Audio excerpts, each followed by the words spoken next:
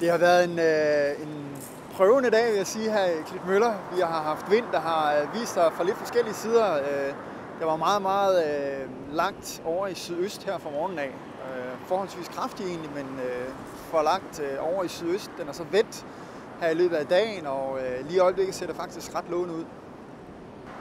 Vind betyder alt for en sport som øh, wave performance, som er bølge-windsurfing.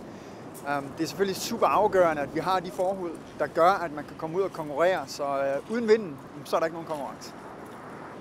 Mine forventninger til de næste dage her i Klitmøller er, at øh, vi måske får et par dage, hvor vinden ikke er så kraftig. Og så ser det ud som om, vi får uh, ret fine forhold hen imod weekenden. Så vi er meget spændte på at se, hvad der kommer til at ske. Tak.